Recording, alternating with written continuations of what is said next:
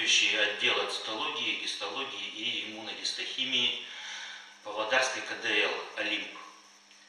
И э, поскольку мы работаем с врачами разных специальностей, то нам необходимо взаимопонимание. То есть часто бывает так, что пробу берет один специалист, а выполняется не исследование другой.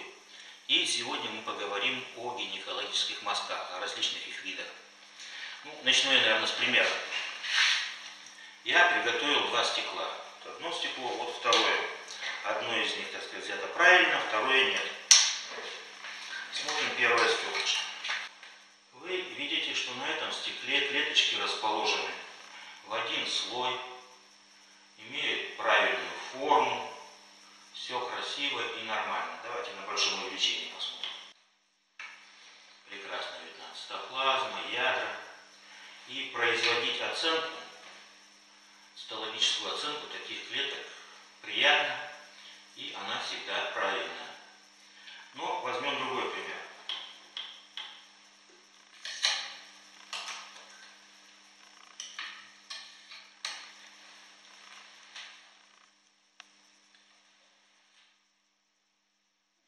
отдел стекла, вы видите, э, клетки расположены рядом друг с другом. А вот здесь вот очень интересный такой вот участочек. Что мы видим? Наведем резкость. Мы видим, что между клетками находятся трещины. Это феномен, артефакт высушивания на воздухе. Здесь клетки навалены такой большой кучей, такими большими, таким большим количеством слоев, что они просто не просвечиваются. Поэтому то, как гинеколог берет мазок, в принципе решает, будет выполнено исследование правильно или неправильно.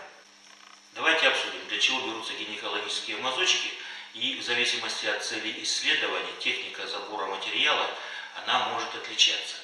Ну, первое – это онкоцитология. Онкоцитология оценивает состояние эпителиальных клеток шейки матки. В наружной части, то есть ту, которую мы видим при гинекологическом обследовании шейки матки, экзоцервиксе, находятся клетки плоского эпителия, в канале железистые эпителии. Наша задача собрать именно эти клеточки. Но канал шейки матки заполнен слизистой пробкой, это раз.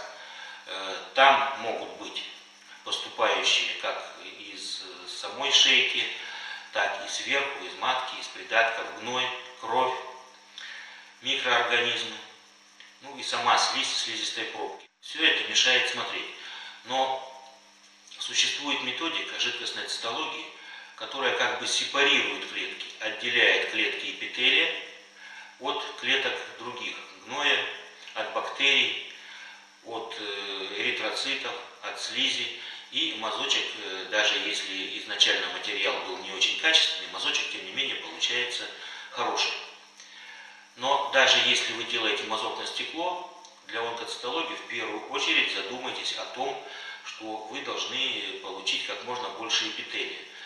Фактически для онкоцитологии нужен не столько мазок, сколько соскоб. То есть вы отскабливаете с помощью специальных шпателей материал. То есть, если мы помещаем такую щетку в шейку матки, то мы должны ее острый конец, вот вы видите, здесь есть такой вот острый конец, поместить как можно глубже в канал, чтобы получить железистые эпителии, и повернуть хотя бы три раза. Должно быть некоторое прижатие. Понятно, не нужно переусердствовать, что не нужно добиваться крови, но тем не менее мы должны соскоблить материал и этот материал подвергнется оценке. Если же мы делаем исследование для воспалительной цитологии, то нас то, то, то что мешало онкоцитологии, то есть слизь, гной, микробы и так далее, то это является предметом исследования. Вот здесь уже соскоб не нужен. Мы пользуемся вот таким вот зондом. В принципе, даже ватными тампончиками можно пользоваться и помещаем его в канал шейки матки для того, чтобы он впитал в себя слизь, гной и так далее. Помещаем оптимально на 30 секунд. Он происходит оптимальное впитывание. Но если вы поместите его на время меньше 10 секунд, то там практически, в общем-то, у вас материала будет недостаточно. Вот таким вот образом. Второе. Каким образом нужно производить мазок. И это мы сейчас с вами обсудим. Дело в том, что э, чем отличается первый мазочек от второго. Вот на втором мазочке вы, наверное, видите, что очень-очень многослойный материал. Мазок – это влажный след на поверхности стекла, а не горка и не капля. За этим нужно следить. То есть, в принципе, если вы э, делаете мазочек, то его не нужно вот так вот размазывать. Вы должны просто прикоснуться. Степень придавливания зависит от того, сколько у вас жидкого материала находится на щетке. Прикоснулись, повернули, повернули.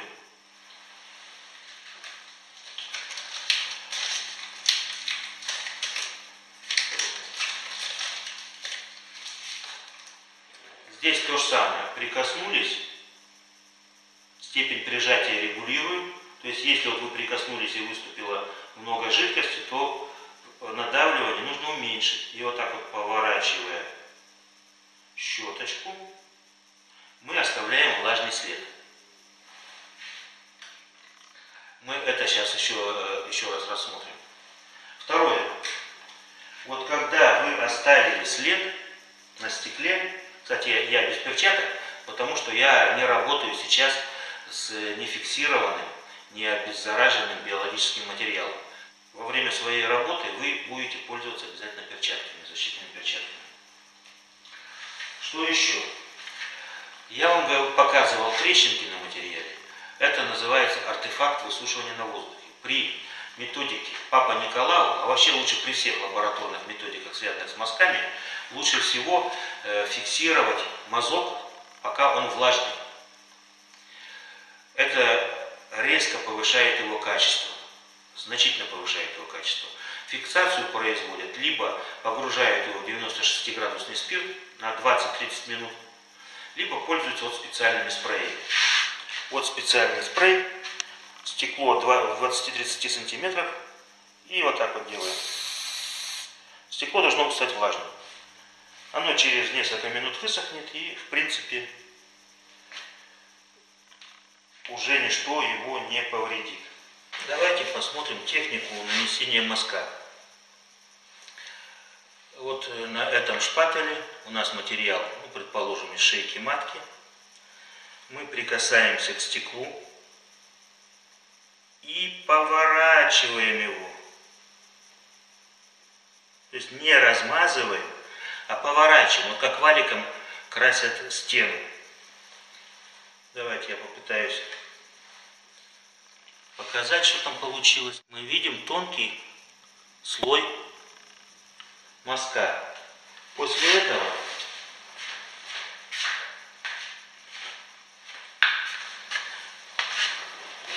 не дав этому мазку высохнуть, мы пользуемся спреем. Вот, мазок влажный у нас. Теперь он должен высохнуть. И дальше вы проделаете все остальные манипуляции. Так, сделаем другой мазок, другой щеткой. Вот этой вот щеточкой. Этой щеткой попали резко. Так, этой щеткой тоже не нужно мазать. Тоже прижимаем и поворачиваем. Степень надавливания зависит от количества материала. То есть и при первом варианте исследования, и при втором вы придавливаете слегка щетку и смотрите. Если материала много, то давление уменьшаете, чтобы остался очень тонкий влажный след не капля, не горочка. И вот так вот поворачиваете и так далее. Иногда, когда нужно очень тщательно провести онкоцитологическое исследование, используются две щетки. То есть сначала, в общем-то, мазок из шейки матки берут вот такой стандартной щеткой, но мы знаем, что проникновение в канал здесь минимальное. Наносится мазочек на стекло. А затем берут ёршик. У меня сейчас ёршика нет, но тем не менее берут ёршик, вводят его в канал шейки матки, прокручивают несколько раз, и потом сверху на это же стекло с ёршика наносится поворотами мазок. И фиксируем спреем в конце. Вот он спрей, фиксацию производим. Вот основная техника для получения онкоцитологии. Но если мы хотим провести исследование э, для воспалительной цитологии, то там используется только вот такая вот щеточка, либо даже ватный тампон. Исследования проводят на двух стеклах. Одно стекло используется для окрашивания по грамму, второе по Романовскому. Здесь, так, я сейчас возьму немножко материала. У меня материал искусственный, не биологический. Поэтому я работаю без перчаток. Вы будете работать в перчатках. Так вот, представим себе, что мы взяли материал из шейки матки, и нам нужно нанести его на два стекла. Вот мы используем одну половину щеточки для нанесения на одно стекло, вторую половину другое. То есть, смотрите, я так вот помещаю и поворачиваю слегка. И дальше. Вот у меня здесь выступила избыточная жидкость, поэтому я дальше буду прижимать меньше чтобы хотя бы какие-то мазочки получились хорошие, правильные. Теперь поворачиваем на 180 градусов и проделываем то же самое со вторым стеклом. И получаем вот такие вот мазочки. Не нужно размазывать, вы повреждаете клетки и нарушаете структуру материала. Опять же, для окрашивания по Романовскому и программу не обязательно проводить э, влажную фиксацию, но лучше ее провести. Мазок получается более качественный. То есть мы спрей наносим, либо помещаем 96% спирт на 20 минут и получаем хороший мазок. Наконец, оптимально, когда мы обследуем женщину на инфекцию, на воспаление, то нужно брать материал сразу и из шейки по грамму по Романовскому, и из вагины по грамму по Романовскому, и из уретры.